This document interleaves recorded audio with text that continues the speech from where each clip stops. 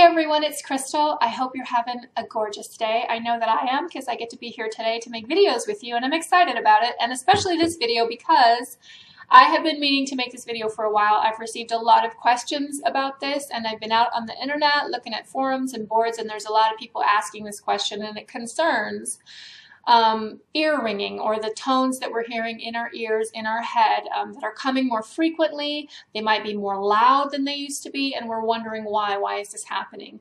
The good news is that there is an answer, and the answer is that this is all happening as a result of our ascension process or the literal process of our shift and change to the new consciousness, the new awareness, and the new dimension that we're being called into. So that dimension carries a very specific vibration or signature, and that signature carries with it a tone that we hear in our physical body and even in our environment um, as a sound.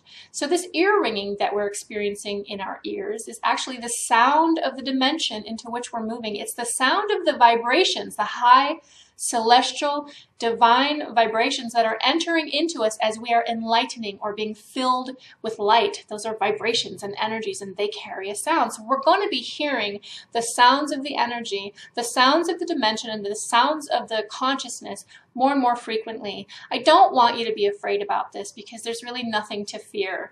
There are a lot of uh, various symptoms of ascension, and some of them are actually quite uncomfortable, and we could become worried and anxious and afraid experiencing these symptoms in our body and in our space. But if we know what they are and we know why they're happening, if they're happening as a result of our transition, which is an awesome thing, then we can release the fear and sort of just flow with the process and not resist it, but move into this next phase of our being more easily, more comfortably. So ringing in the ear is part of the process of approaching and inhabiting those higher frequencies. And in addition to that, I just want to throw it out there because it's happening more and more to me, and I'm wondering if it's happening to any of you out there.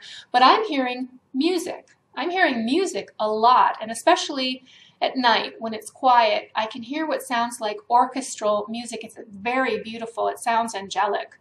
And um, I know when I'm hearing this music that I am literally hearing what's called the music of the spheres or the music of the celestial and the divine levels. It's gorgeous. I'm wondering if you're hearing that as well. And if so, that's just really a neat sign that we are um, being opened up and exposed to these beautiful energies and that that's a part of the process of change and becoming what we are being called to be. So I don't want anybody to be afraid.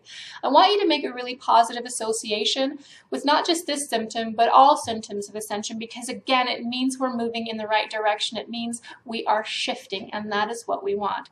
I really want to thank you for your questions. Um, I think just being able to make a video answering one person's question allows me to address the question with a bunch of other people and so we all get the answers that we want. So keep those questions coming. I thank you for them and I especially thank you for trusting me with answering them. So until the next video, until the next question, until the next subject, until the next time, I will see you on the other side.